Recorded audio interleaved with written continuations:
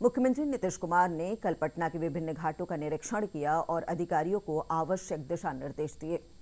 श्री कुमार ने स्टीमर पर सवार होकर विभिन्न घाटों पर की जा रही तैयारियों का जायजा लिया।